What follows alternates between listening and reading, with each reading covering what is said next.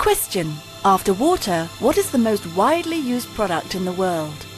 Concrete. Did you know that concrete is a whole science in itself and one in which dozens of scientists are involved every day at the Lafarge Research Centre?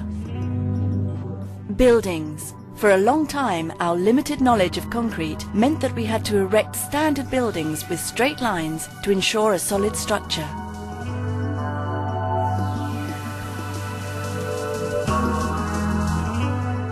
Research into the chemistry of concrete has enabled us to design a more pliable and sturdy type of concrete, allowing more daringly shaped and more spectacular buildings to be built.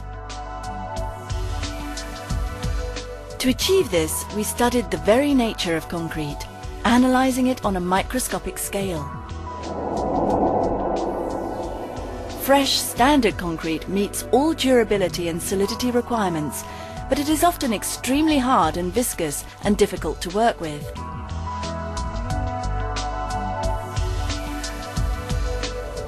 A natural chemical phenomenon lies at the root of this problem. Cement particles in concrete are irresistibly drawn towards each other when mixed with water.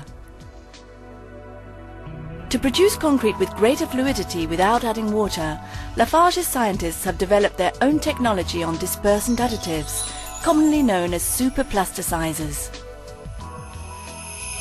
A dispersant is a molecule that physically separates the cement particles. These molecules temporarily neutralize the forces of attraction between the cement particles and this gives the concrete a much more liquid consistency. By taking a closer look,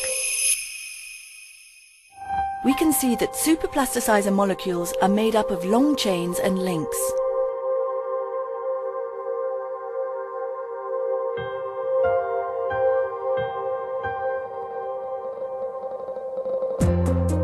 The superplasticizer attaches itself to the cement particles in what is known as the adsorption phase.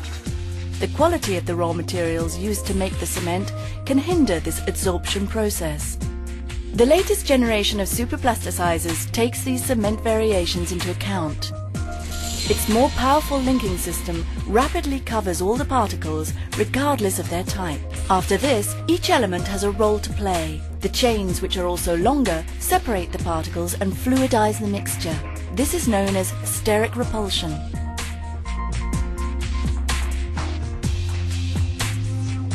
On reaction with water, crystals form on the cement particles, cancelling out the superplasticizer's separating effect.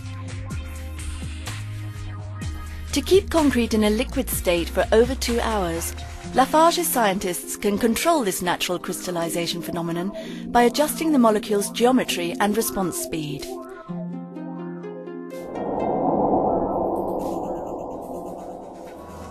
The science of additives therefore opens up greater opportunities for architects who, thanks to more pliable, solid and longer lasting concrete, can think up more sophisticated designs and build ever more ambitious structures which meet their increasingly imaginative design requirements.